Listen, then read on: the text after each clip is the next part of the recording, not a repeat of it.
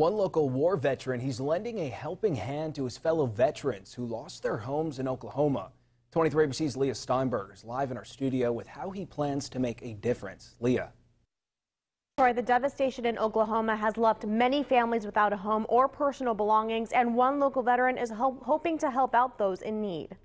After fighting in Iraq for eight years and surviving a traumatic brain injury in Afghanistan, war veteran Justin Davis tries not to take life for granted. Little things are more important to me than they were in the past. But when he heard the horrible news that a catastrophic tornado had touched down in Oklahoma, he immediately thought of his friends who served with him in Iraq. I got a hold of them and they said, We have nothing.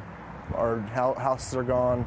We're just we have nothing to start with. Me, them, their sisters, their brothers, their moms, everyone is just devastated. So Justin decided to reach out to a personal friend for help to lead an effort to collect items like clothes, shoes, and toys to help his friends get back on their feet.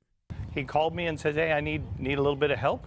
I'd like to. Uh, can we use your office to store things?" And I said, "Oh gosh, yeah, it's, it's yours." It's a horrible situation for anyone to have to go through. But on top of you know they've served our country, um, they've you know they've lived in horrible places and done all this stuff for our country, and they come home to hopefully you know have some peace with their families, and now they have to deal with starting completely back over again. I mean, losing everything that they've worked so hard for. And a little help during tough times can go a long way. I think the greatest gift that we have is, you know, the ability to help others. And um, this is a perfect example of how we can all, you know, do something really little and it's going to make a huge impact on somebody else's lives.